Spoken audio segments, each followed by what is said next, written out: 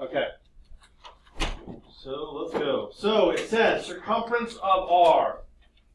Okay. Now, normally we would refer to the circumference formula, which is pi times diameter, or 2 pi r. But it does not apply in this problem because we don't have a radius or diameter. What we have is a central angle and an arc length. Okay? Think about what you have. We have an arc length. So that means we're going to look at our formula card at the arc length formula. Now the thing is here, we know the arc length. So we're going to put 28.8 equals the central angle, 165 over 360. That's that 360. Now, if you look at the, the formula card, right here is pi times diameter. Okay? But what is pi times diameter? Pi times diameter is circumference. Therefore, yes, we could, if we wanted to make, create more work for ourselves, put pi times diameter, multiply by pi, divide by pi, find the diameter, and then multiply by pi again to get the circumference. But if we just say that is C right there, all we have to do is put in our calculator, and this is the easiest way to do it. Type in literally 28.8 divided by, and then just put in parentheses 165 divided by 360. Okay? Otherwise, what you have to do is do 165 divided by 360, get a long decimal, probably round it, and then divide 28.8 by that decimal. But then you're rounding around a number. This is the way to get to the most accurate answer.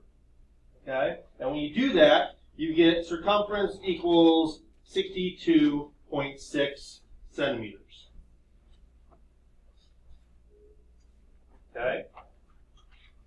28.8 divided by the division of 165 over 360. Okay? Number two, arc length of CD. Well, again, I forgot to correct this. That should be C, that should be AB, and this should be D, E, F, which we've already talked about. Okay, AB. We are trying to find th this right here, the arc length. Well, as soon as you see arc length, that's the formula we're using. But we're trying to find the arc length, so we're working forwards on this one. We just use the formula 60 over 360 times pi times diameter. This is not the diameter, that's the radius. So we have to double it.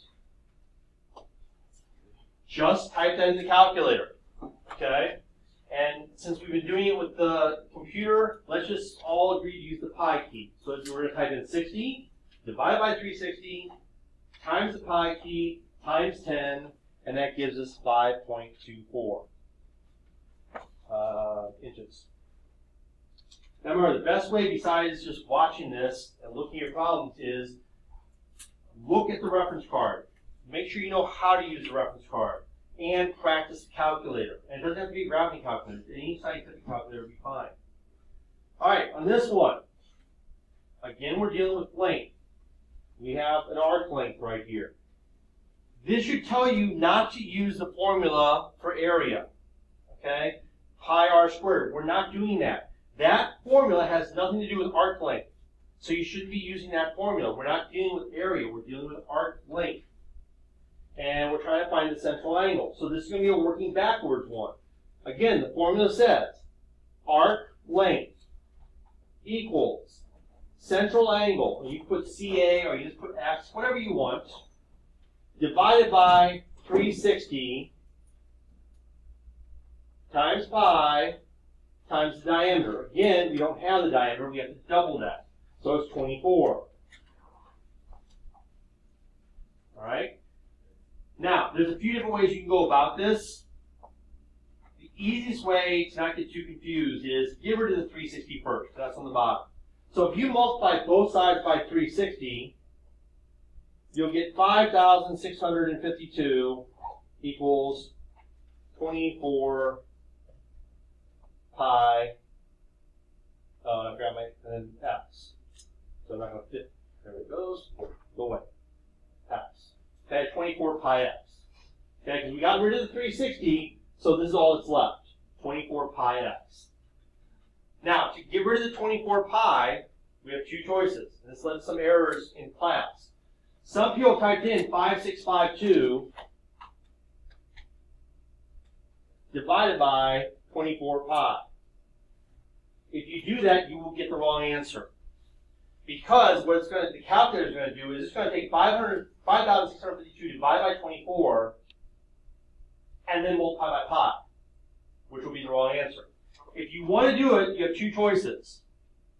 Do 5,652 divided by 24, get an answer, divide by pi, get the final answer.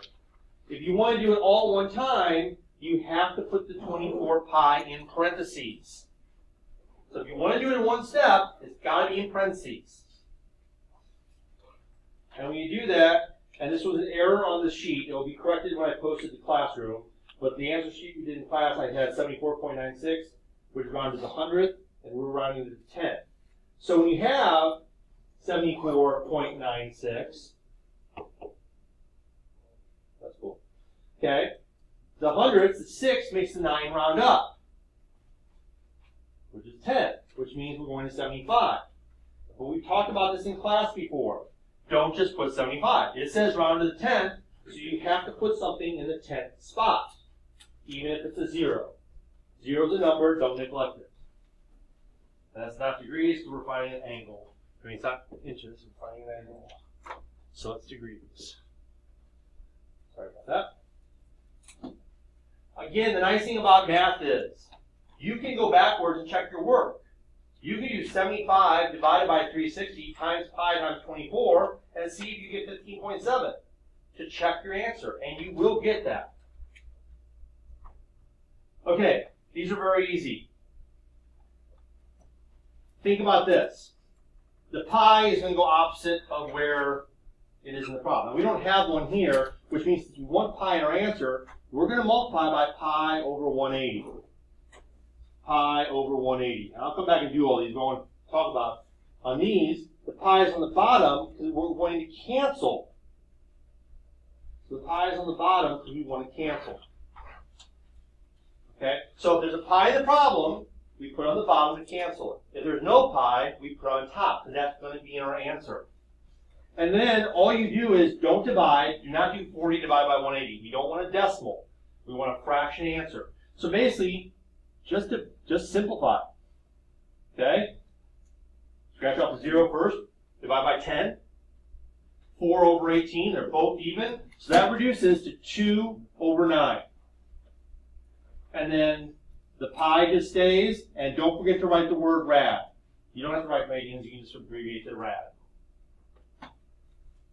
Another way to write that is 2 pi over 9. It doesn't matter. I'll accept either way. 2 ninths pi or 2, uh, 2 pi over 9. So on this one, divide both by 10, you get 27 over 18. What goes into both those numbers? 9. How many times? 3 times and 2 times. I will write it this way for this one, just so you can see the two different ways. So you can write as a fraction in front of the pi, or you can put the pi up with the numerator over the denominator. It doesn't matter. They're both right. Yeah, this one, 6 and 7, the pi is canceled. They're gone. That's the whole purpose. We're trying to get rid of that pi. And then you just crunch the numbers. 5 times 180 divided by 6. Or if you want to do it mentally, 6 goes into 180 30 times. Times 5 is 150. Doesn't matter. You got a calculator, use it. Okay, but then again, this is pretty easy mentally. You can do 11 times 180, a little bit tough in the head, divided by 9. But 9 goes into 180 20 times. And 20 times 11 you can do in your head. The little trick I taught you. Either way, 220 degrees. Or again, you just type in 11 times 180 divided by 9. And you got your answer. Okay, 8. Find the area of the shaded region. Once we see that word area, we know we're using the sector, area of a sector formula. Okay, the one with the pi r squared. Because remember, pi r squared is the area of a circle. So that's our clue which formula to use. On this one, it's just a straight problem. It says central angle divided by 360 times pi r squared. Notice, the only difference between this and the other formula is in the other formula, we have circumference here, pi times diameter, and this one we have pi r squared. The central angle over 360 is standard because we're trying to find a portion of the entire circle. Now that portion may be a length or an area. So this one you just crunch the numbers. 240 divided by 360 times the pi key times 49. And when you do that, you get 102 point. I just realized on my key I did this wrong because I rounded to the 100 spot. So it's 0.6 inches squared because it's 0.63, which rounds down, you leave the 6. Now remember, round down does not mean go down 5, it means leave it at 6. So I'll correct this for the answer key that I post on Classroom. Number nine, on this one we're doing two problems. We're finding the area of the circle and the area of the square, and we're subtracting them. Area of the square is easy because it's 10 by 10. So area of the square is basically 10 squared. Okay, it's 100. Okay, very simple, length times width. Or S squared, since it's a.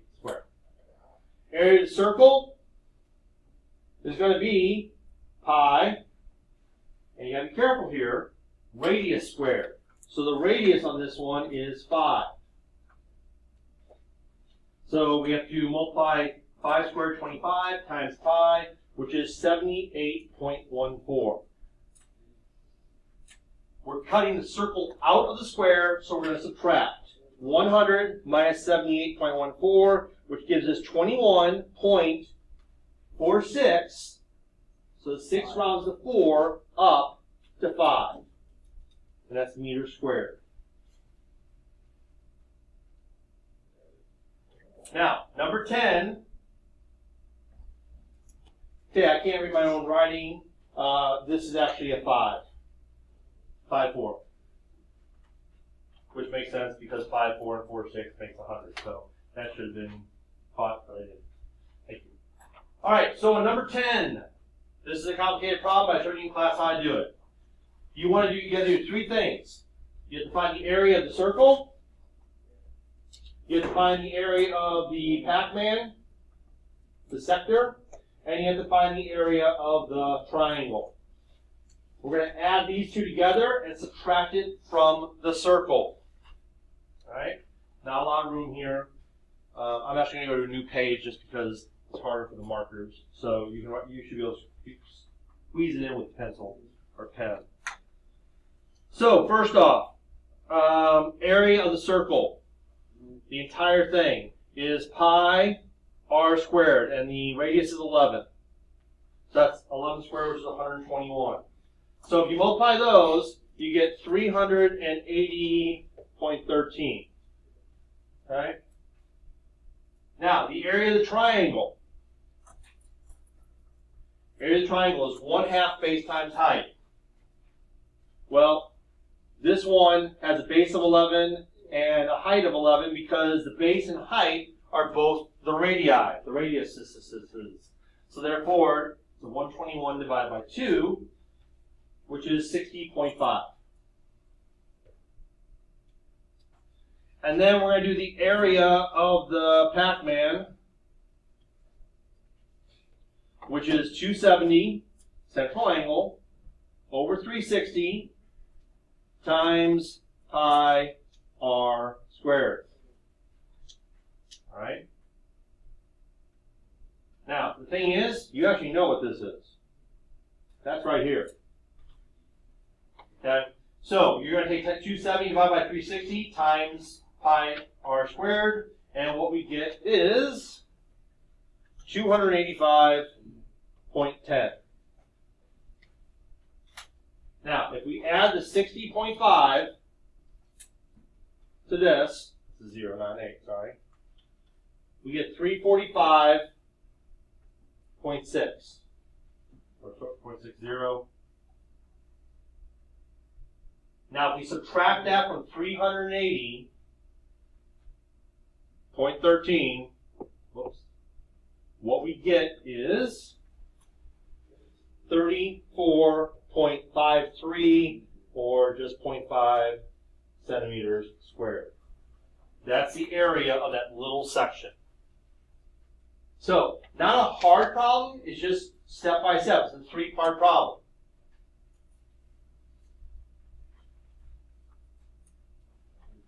All right, last one on this page. I'm creating a giant circular spinner. Okay, I want seven equal sections. If the radius of the circle is eight feet, okay, get the exact and the uh, round nearest whole number. So for this one, first off, I just need the area of the circle. So the area of the circle is going to be pi times 8 squared, or pi times 64, which is 201 so on, 0.06. Or if you did 0.1, that's fine. You know, might be slightly different. Okay?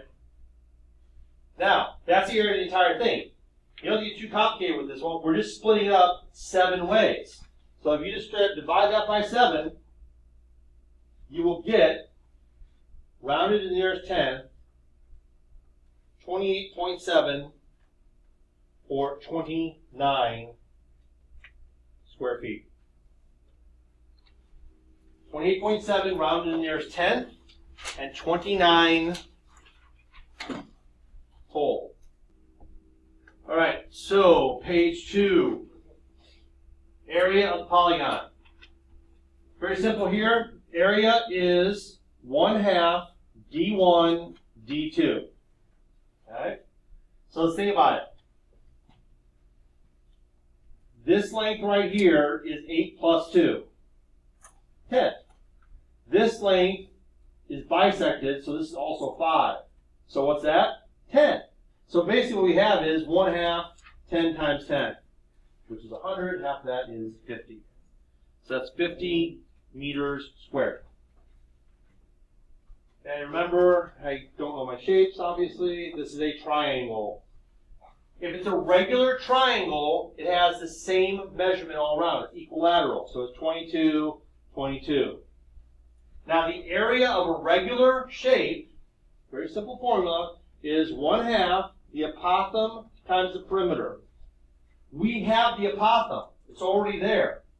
Okay? The apothem is right here. And the perimeter is 66. So area equals 1 half the apothem times 66. And when you get that, you get 209.53 no, I'm sorry, it's 5, 5, I believe, which rounds up to 0.6. And we don't know what units, so we just say units squared. So when you type in your calculator, you will get 5, 5. The 5 tells the 5 to round up to 6. Uh, remember I screwed up on this one, this should say side, which is obvious from the drawing right here, because a radius of 9 makes it not work depending on how you do the problem. Now, it doesn't look like there's a lot going on, and there's not. So remember, if we had the center here, we could divide this up into all these triangles. We don't really have to do all this, but if you've got to remember what's happening, the process, we're dividing it up into 10 triangles. Decagon, deca means 10. So let's think about it. What we have is a triangle that has that being 9, and then 360 divided by 10, this is 36 degrees up there. Okay? Now, we don't have a right triangle, we can't do trig yet. So what we need to do is take that triangle and split it in half, making this 4.5, and making this, I'm just going to draw because it's too hard to fit in there, 18 degrees. Now what we're trying to find is this right here, the apothem. We need the apothem. Well, with our complicating, we have a degree measure and we have a side. From that degree, we have opposite. What we're trying to find is adjacent. Opposite adjacent is tangent, TOA. So we're going to take tangent of 18 degrees equals opposite 4.5, that's a 5, believe me, over adjacent. Okay? Now remember, when the x is on the bottom, we have to do a little trick where we switch them. So x equals 4.5 divided by tangent of 18. Just type in your calculator. Make sure your calculators are on degree, not mode, under mode. You hit mode, and make sure yours is on degree, not radians. Now, they should standard be on degree, but just always make sure before you take a test. When you type in 4.5 divided by tangent of 18, you get 13.85. That means that the apothem is 13.85. So now we just do the formula. Area equals 1 half the apothem, and then 10 times 9, the perimeter, 90. And that gives us 623.25. The 5 tells us to round up to 0.3 inches squared. 15. Okay. Remember, on, on all of these, the formula is area equals the area of the base, I'm sorry, the volume, my bad. Volume equals the area of the base times the height. Okay? So, we have to find the area of the circle and multiply by 21. That's it. Again, you're going to have all these formulas on the test. So, volume equals the area of the base is pi 8 squared, because the radius here is 8, diameter 16. So it's not a bad idea to write r equals 8 to remind yourself to do that. Times 21. And that's it. That's 21.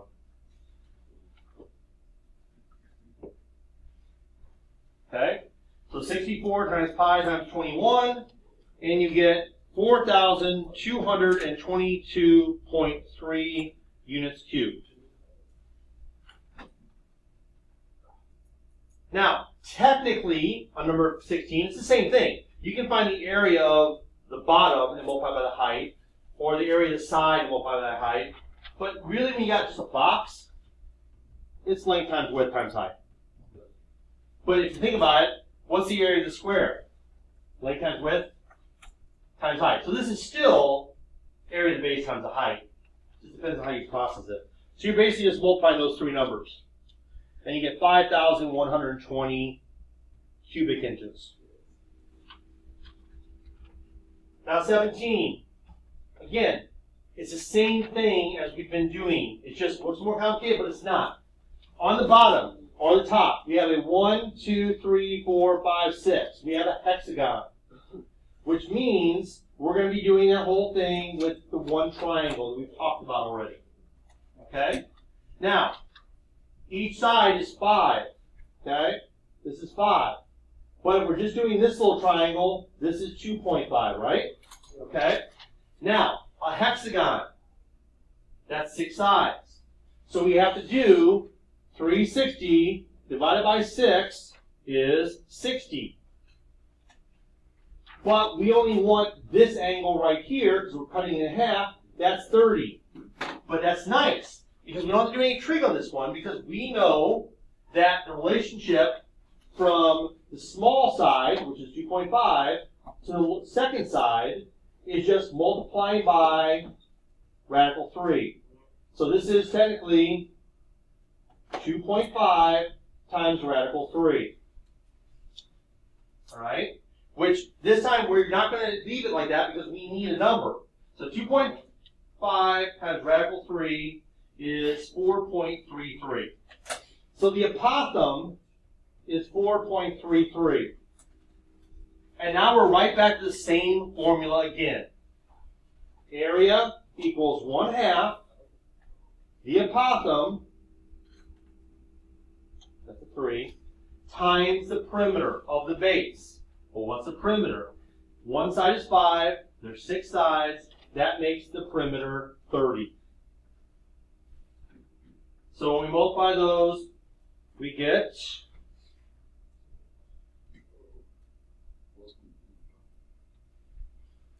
So what I get is an area of 64.95. Now remember, that's just the area of the base. The volume is that times the height. So we need to do times 25. And that gives us 1623 plus you. 1620. Ah, I can't believe it. Even for me, that's bad. 1623 points. Now what we should get is 0.75. The 5 rounds the 7 up to 8 cubic feet.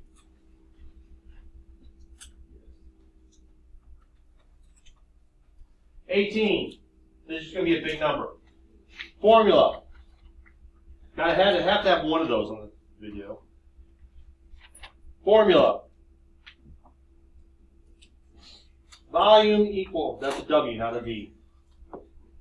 Volume equals one third the area of the base times the height. Okay? Now it's a square base. So it's one third. Square base is going to be 756 squared. Because it's square. So the area of the base is going to be 756 times 756 times the height of 480.6. So this is just a big old number. Huge. It's 91 million 560,000 067.2 meters cubed.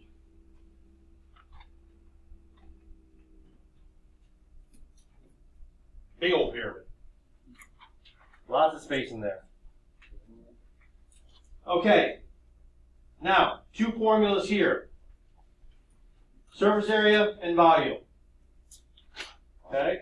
So, volume.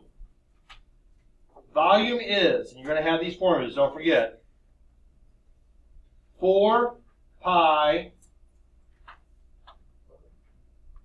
radius over 3. And surface area is 4 pi r squared. So basically we have to do this twice. We have to do the volume of each one and subtract, surface area of each one and subtract. So I'm going to do that under do the work underneath here.